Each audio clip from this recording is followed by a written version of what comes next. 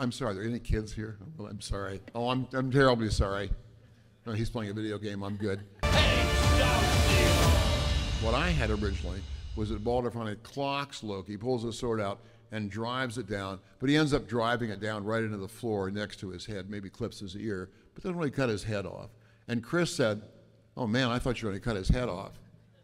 and I said, Fuck. I rewrote my ending of my story.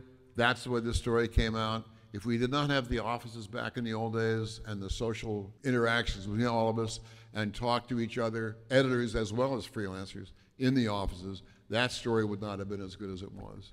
So I want to thank Chris for giving me the idea. I, I have occasionally credited him once in a blue moon at conventions, but not very often because I want people to think I'm brilliant, not that Chris is brilliant. So thank you very much, Chris. That was my story.